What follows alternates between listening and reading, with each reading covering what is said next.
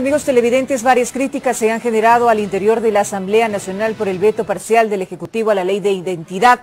Desde el bloque oficialista se cuestiona el requerimiento de dos testigos para cambiar la palabra sexo por género en la cédula de identidad. En la Asamblea Nacional no a todos parece convencerles del veto parcial del Ejecutivo a la Ley de Gestión de Identidad y Datos Públicos.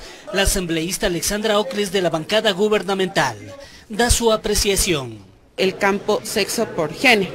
Digamos, en ese sentido, eh, creemos que no se necesitan dos testigos para que yo pueda acercarme y hacer ese cambio.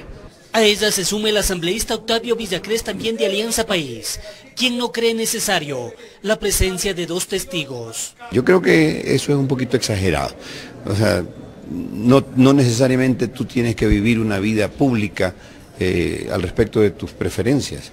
Si tú quieres cambiarlo, es una cuestión de decisión personal. Sin embargo, Giovanni Jaramillo de la nueva plataforma Revolución Trans dice no tener reparos al veto parcial.